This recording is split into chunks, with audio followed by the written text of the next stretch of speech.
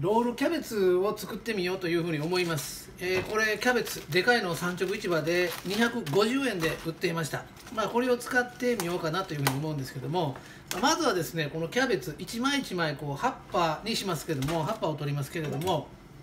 この芯のところありますよね。この芯のところをザクザクと包丁を入れます。こういうふうにして。そうしたらパリパリパリパリこう音がするのでまず一番最初はですね、まあ、こういうふうにして芯のところを包丁をこう入れていくと。でバスーンとねあの大きくこう入れる方いらっしゃいますよね。ぐさっとこう最初から。えそういう最初から大きく入れる必要なくて、まあ、ちょっとずつちょっとずつ入れていった方があの実際にはいいかなというふうに僕は思います。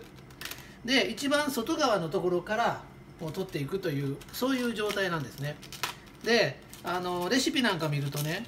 あのこれ一枚一枚こう取っていくというのがですね、まあ、うまくこう取れないと、まあ、こんなふうにこううまく取れないというそういうことが多々起こりますよね。こんな状態でバラバラになると、まあ、それでも構いません。さて新鮮なキャベツであればあるほどですねこんなふうにもうバラバラになっちゃうんですよ。でバラバラになってここ硬いですよね。で硬いので、まあ、ここはもう取っちゃいます。こういうふうにしてこう取っちゃって柔らかい部分だけをとりあえずこう残していきます。でこういうふうにこうバラバラになるんですよ。新鮮なキャベツはねみずみずしいのでなかなかうまくこういきません。それでこういうふうにこうやりますけども、まあ、その辺はもう全然大丈夫なので、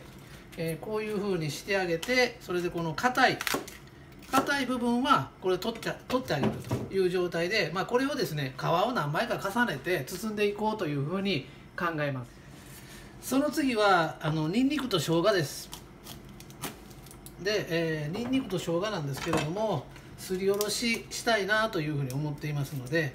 まあ、ニンニクはですねこのようにこう皮をむしってあげると。もう古いのでこう芽出てきていますから、まあ、こう芽のところは美味しくないというかあまりよろしくありませんので芽は取っちゃいます。でにんにくこういう風にしてやりますけどもすりおろしができないとかっていう風なまあ本当にこれすりおろしできないという風な状態だと思うのでこれはもうあのミキサーにかけて、え、粉末にしてしまっ粉末っていうか砕いてしまった方がいいかなという風に思います。さてこれはニンニクです。でニンニクと同じ分量の生姜。これをこの中にこう入れちゃいます。それからこうさっきあの切ったキャベツの芯がありますよね。これもまあこの中に入れてちょっとこうミキサーでぐちゃぐちゃっとこれを砕いてしまいます。さてとお湯が沸いてきました。でお湯が沸いてくるとですね、えー、これお塩をちょっとこう入れてあげます。でキャベツねお塩、まあ、野菜は一般的にこうあのおひたしにする時に塩をちょっとこう入れてあげると引き締まるんですよね。こう味が引き締まるっていうか。でこの状態で先ほどのこのキャベツを入れていきます。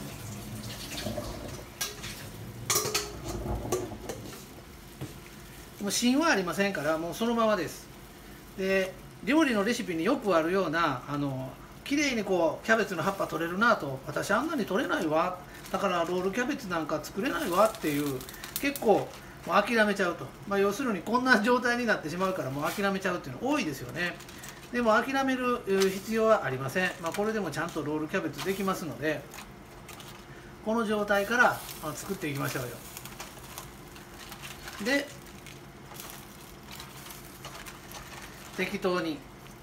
それであの余ったキャベツありますよね。この余ったキャベツはね実は漬物でそのままであのいただいても美味しいですのであそうなの？と思っていただければいいかなというふうに思います。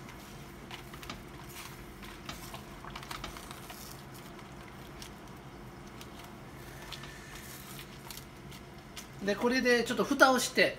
1分ぐらいで十分です。さて今度はあの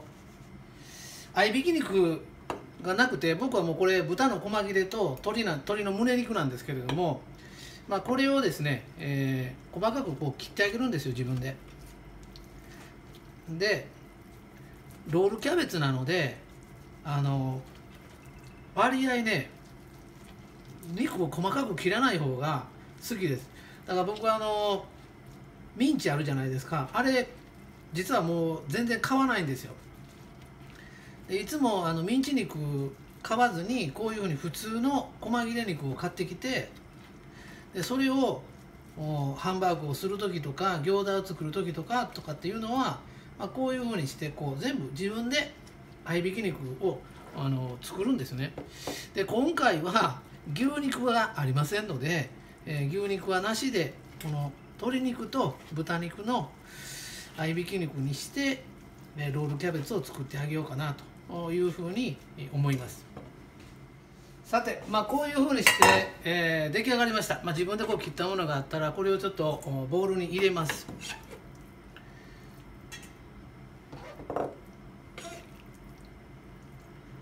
でお肉ってねあの常温に戻してあげて、えー、まあ料理するっていうのは基本だと思うんですけどもそのままでこれでもうそのままこう具で包んでとかってありますよね。僕の場合ちょっとこれにこれお酒です。お酒をひたひたとこう浸してあげてでこれ醤油です。醤油をやって甘い方が好きな人はねあの砂糖をちょっとこう加えてそれでしばらくこれ置いとくんですよ。まあ、要するにこう味を先につけちゃうということですね。こういうふうにしてちょっと置いておくとあの肉がねパサつかないと。特にこれ僕今胸肉使っているので、まあ、こういうふうな状態で味を先につけちゃいます。ロールキャベツはあの余り物何でも結構です。野菜も何を入れてもいいと。これ練り物も3枚余っているのでこれもこう切って、えー、一緒に入れちゃいます。練り物いい味が出てくるので、まあ、ぜひとも余ったものはこういうふうにして使ってください。その次に玉ねぎも余っているので、まあ、玉ねぎも使っちゃいます、まあ、玉ねぎはですね千切りにするというのが大事なのでちょっとこう千切りにしたいというふうに思います。で僕ねあのスライサー使ってるんですよ、まあ、こういうスライサーがあるので、まあ、これを使ってやりますね。さて、えー、これ。玉ねぎが出来上がったらバターですこれ。フライパンにバターを入れてこいつをこの中にこう入れてですね炒めます。まずは玉ねぎだけね、え、なぜかというとバターと玉ねぎで炒めてあげるとものすごくねこの玉ねぎ甘くなっちゃうんですよ。ネギとか玉ねぎとかまあネギ系ですよね。熱加えるとものすごく甘さが出てくるのでまずこうしますね。さて火を入れました。でこれでゆっくりと玉ねぎをこのバターで炒めていきます。中火ぐらいでゆっくりと、まあ、こういうふうにかき混ぜてきつね色になるまで、まあ、こういう状態ですけどまだまだこれまだ白いですからね。きつね色になるまでゆっくりとかき混ぜてあげます。これぐらいきつね色になれば完成です。これとりあえず調味料ですよね。さて今度はですねにんにくと生姜とそれからキャベツとということで、えー、こういうふうにしてミキサーの中でやったのがあります。実はこれあのちょっとねあのままではダメなので、えー、少しお出汁と水でも構いません。それからオリーブオイルを足しています。足して、えー、ミキサー通りやすいようにそのままだと多分通らないというふうに思うので、まあ、一旦こういうふうにしますね。でこれに余り物がありますけどもこの余り物の練り物入れちゃいます。要するにあの炒めちゃうんですよ。でロールロールキャベツ作る時って煮込み料理なので30分くらいこう煮込んでいってくださいねとかっていうのはよくあると思うんです。でも30分待つ間にですねもうお腹が空いてたまらんなということで時間短縮したいというふうに思うんですね。で時間を短縮するためにどうするかっていうとですねもう先にここで炒めちゃえということなんですよ。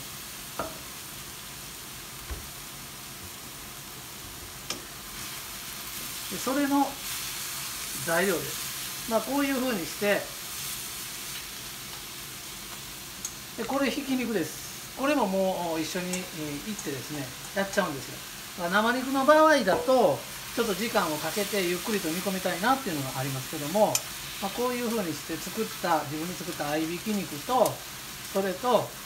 えー、自分で作ったこう調味料ですよね。生姜とそれからにんにくとっていうことでやったやつでまず最初にもうこういうふうにして炒めて、えー、まあ言えばそぼろ煮ですよね、えー、作っちゃえばいいということですよ。さてじゃあ今度はですねこれを混ぜていきます、えー、さっきのものとよいしょと。でその時にこう混ぜる時に卵を入れてちょっと美味しくしようかなというふうに思うんですよ。はい。で、まあ、この状態でこれを混ぜます、まあ、これが具になるわけですよね。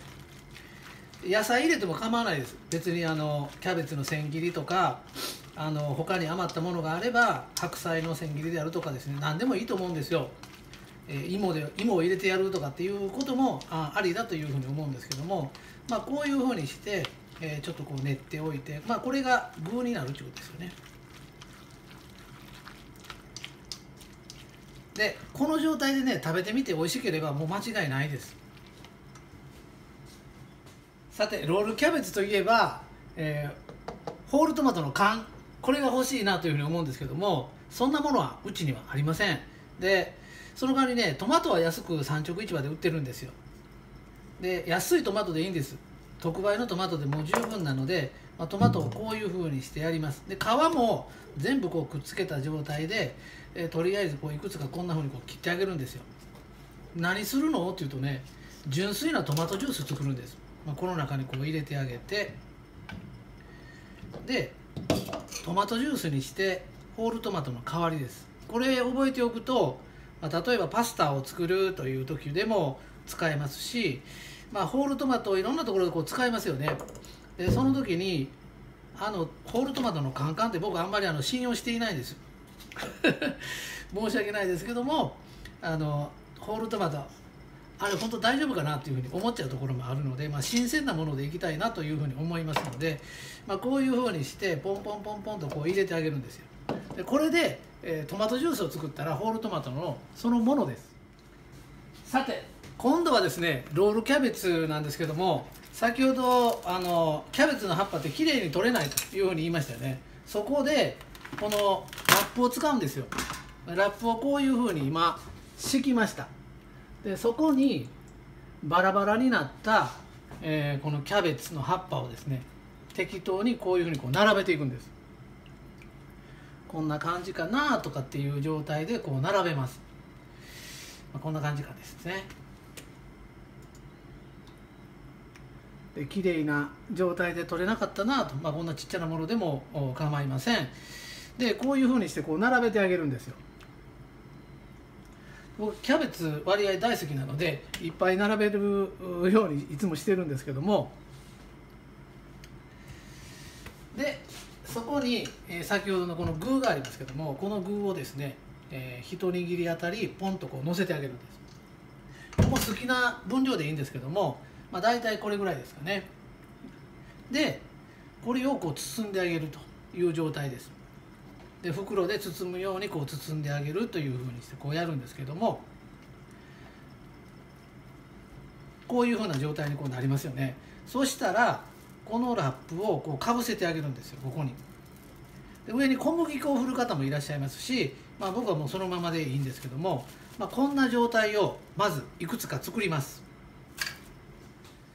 さて、まあ、このようにしてきれいにこうなりましたらさっきのあのトマトジュース。トマトジュースをここにこう入れてあげます。でお水もちょっとこう足してあげます。そしてまあこう水を足してあげたら実はここにウスターソース。ウスターソースを1かけします。でケチャップです。ケチャップをこれにかけてあげるんです。そしたらねすごい美味しく出来上がるんですよ。まあ、ウスターソースでもとんかつソースでもソース余ってるやつありますよね。でケチャップもこう余ってるやつがあれば、まあ、それをこう全部入れてこれで煮込んでください。